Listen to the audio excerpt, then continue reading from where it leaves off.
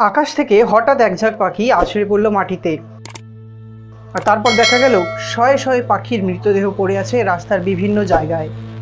আসলে কি হয়েছিল সেদিন? কি কারণে এই পাখিগুলো এভাবে মারা গেল? চলো আজকে পর্বে আমরা সেটা দেখে নিই।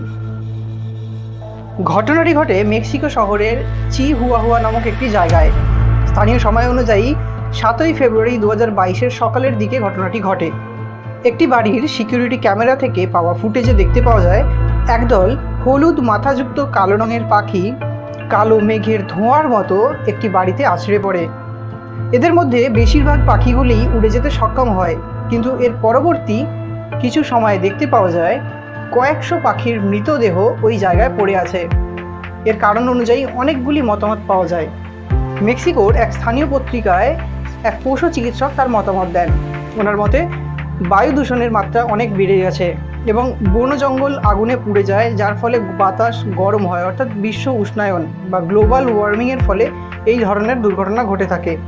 আবার সোশ্যাল মিডিয়াতে অনেকে অনেক রকম পোস্ট করছেন। অনেকে মনে করছেন ফাইভ জি টেকনোলজির কারণে এই ধরনের ঘটনাটি ঘটেছে। তবে এর সত্যতার পিছনে নাইনটি নাইন পার্সেন্ট বাস্তুতন্ত্রবিদদের মতামত রয়েছে। তারা বলেন, এই দুর্ঘটনার পিছনে শিকারী পাখির অবদান সব থেকে বেশি। ডক্টর রিচার্ড ব্রুটনের মতে, এই পাখির দল উড়ে যাওয়ার সময় কোনো শিকারী পাখি, যেমন ইগল বা বাজ পাখি, এদের তাড়া করে। যার ফলে এরা পালিয়ে বাঁচার জন্য নিচের দিকে আসে। এবং সেই সময় এদের দলের নিচের দিকে যে পাখিগুলি ছিল, তাদের উপর পুরো দলটির প্রেশারটা এসে পড়ে, যার ফলে নিচে থাকা পাখিগুলি মারা যায়। বন্ধুরা, এ বিষয়ে আপনাদের কি মতামত? সত্যি কি পরিবেশ দূষণ, নাকি অন্য কোনো রহস্য? অবশ্যই নিচে কমেন্ট করে আমাকে জানাবেন। আর আমাদের চ্যানেলের ভিডিওগুলি যদি আপনাদের ভালো লাগে, অবশ্যই লাইক করুন এবং বন্ধুদের সাথেও শেয়ার করুন। আর দেখতে থাকুন অ্যানিমেল কিংডম বাই এলকে